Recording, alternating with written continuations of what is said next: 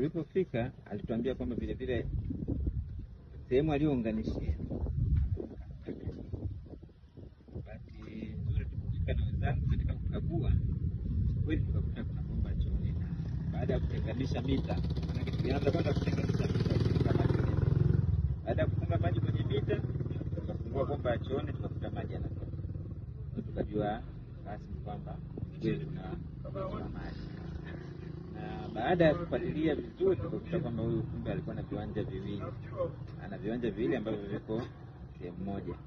Kwa hiyo kwenye kiwanja cha pili tukakagua, tukakuta kuna taka, na ndio bado mafundi wanaendelea kuchimba kukuta ile sehemu aliyounganishia. Lakini kuhusu kuchepusha maji,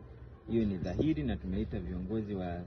mtaa, wamekuja kushuhudia kwamba tumetoa mita, tumetenganisha mita, lakini maji yanaendelea Tumekuja leo hapa kwenye nyumba ya bwana nani sifahamu, lakini iko karibu, tuna maeneo ya Relini opposite na Ford ambapo tumetokea changamoto ya ya maji au wizi wa maji,